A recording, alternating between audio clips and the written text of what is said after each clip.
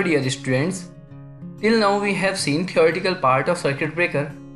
Now in this lecture we are starting with calculation part. So let's start with the calculation part of circuit breaker. But remember one thing here. Designing is the secondary part.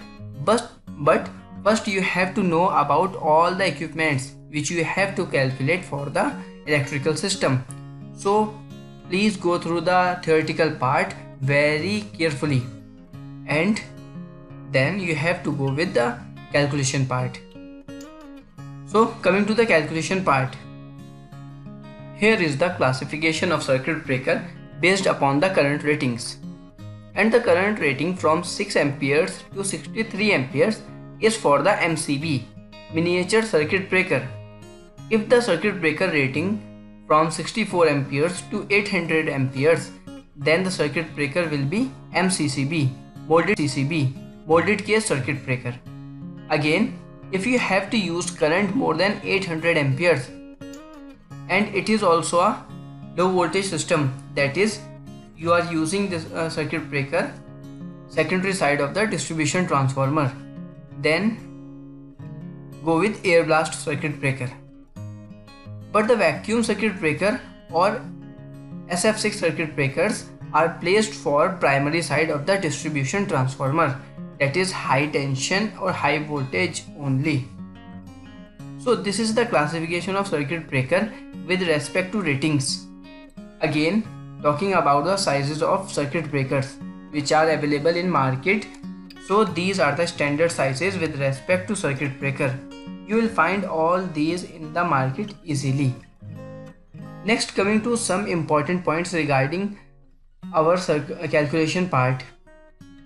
Circuit breaker circuit breaker size depends on the load current which is full load current. So we should know full load current of the circuit to calculate the size of circuit breaker. Next tripping time for high voltage circuit breakers or primary side of the distribution transformer. It should be less than 3 seconds. Similarly tripping time for low voltage circuit breaker or you can say secondary side of the transformer should be lie between 0.01 second to 1 second. Next we have circuit breaker size formula which is equals to 1.25 times the rated current of a circuit or you can say full load current. You can see that in this formula we are taking circuit breaker size 25% extra of rated current why I am taking this why I am take is, uh, taking this extra cent?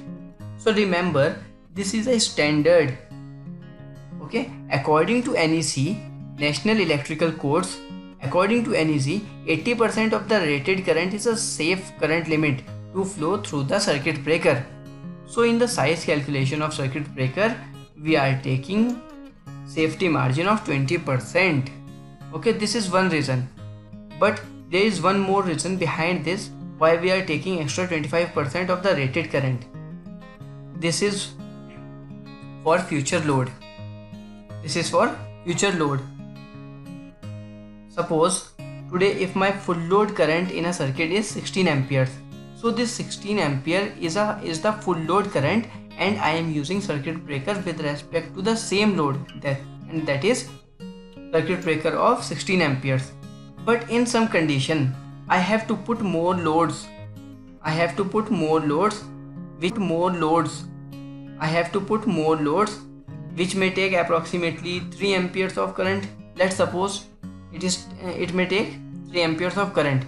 Therefore it is not possible to put the extra load on the same circuit because my 16 ampere circuit breaker will trip again and again that's why we are considering 25% extra for future load or as well as for safety of purpose. Again, talking about the calculation of circuit breaker. This is SLD, single line diagram or you can say one line diagram. Here we are getting supply of 11 kV from substation. This is the primary side of a transformer. Okay, what I was talking about the primary side circuit breaker okay this is a high voltage side or primary side of the transformer. This is a distribution transformer. This is the secondary side of the transformer. For this side, we have to designing the system. We have to design our circuit breaker. There we have five feeders. Feeder 1, feeder 2, feeder 3, feeder 4 and feeder 5. Now for all these 5 feeders we are going to find size of circuit breakers. So it is very easy and very simple i can say okay? So how much the load we have at feeder 1 it is 82 kilowatts. So for the circuit breaker size we should know full load current. Therefore we know that 82 kilowatt is an active power and this 82 kilowatt is greater than 5 kilowatt therefore we will consider it three phase system then power relation is equal, uh, is P is equals to root 3 times of VI cos phi. Here we have P is equals to 82 into 10 to the power 3 watts, V is equals to 15 volts, cos phi is equals to 0.8. Then after simplify, we have I is equals to 142.77 amperes. Okay. This is the full load current at feeder 1 then come for the circuit breaker size formula which is 1.25 times the full load current. That is 1.25 times the 1. Uh, 142.77 then the product value we have 178.46 amperes. Therefore then the available size for 178.46 circuit breaker is 180 amperes here we are going for MCCB because my current value is greater than 63 ampere or the suggested or proposed size of a circuit breaker for this feeder 1 is 180 amperes MCCB. Is it clear? Similarly we have TCL value. Similarly we have TCL value total connected load at feeder 2 is 130 kilowatt. This 130 kilowatt is greater than 5 kilowatt therefore the system will be considered as three-phase system. Then the power relation will be equals to root 3 times of Vi cos phi. Then we have P is equals to 130 into 10 to the power 3 watts and V is equals to 415 volts. Cos phi is give, uh, considered as 0.8 then full load current will be 226.34 amperes. Again we have circuit breaker size equals to 1.25 times the full load current which is 226.34 amperes. Then the product value is 282.92 amperes. Okay? Therefore the appropriate size of circuit breaker we have MCCB of 300 amperes is it clear? Now coming to feeder 3. Here we have load of 15 HP. HP means horsepower. This 15 HP is greater than 6 HP. Therefore, this is considered as three-phase system. Then the power formula is P is equals to root 3 times VI cos phi. First convert this 15 HP into kilowatt which is equals to 11.19 kilowatt. Because 1 HP is equals to 746 watts then multiply 15 by 746 you will get the power in watts. Then we have the power 11 11.19 kilowatt. So after putting all the known values in the above formula we have load value is 19 uh, we have load current value is 19.48 amperes okay next Put this value size formula. Then we have the value 24.35 amperes and the proposed size of a circuit breaker is 25 amperes MCCB. Here we have the value current value less than 63 amperes. Therefore we have MCB of 25 amperes. Next at feeder 4 the TCL value is 2 kilowatt. And this 2 kilowatt is less than 5 kilowatts therefore this is a single phase system. We consider a single phase.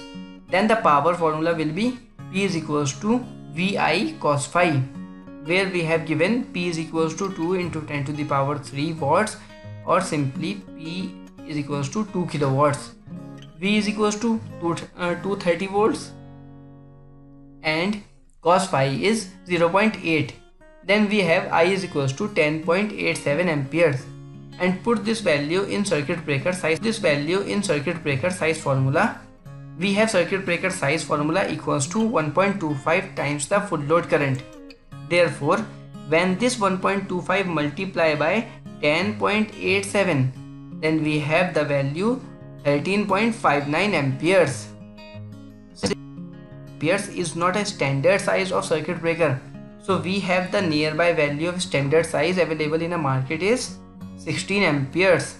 And this 16 ampere value is less than 63 therefore the circuit breaker will be miniature circuit breaker or MCB 16 amperes of MCB again we have the TCL value of 80 kilowatt at feeder 5 this 80 kilowatt greater than is greater than 5 kilowatt therefore we will consider this three phase system where P is equals to root 3 times of Vi cos phi and P is equals to 80 kilowatt and V is equals to 415 volts.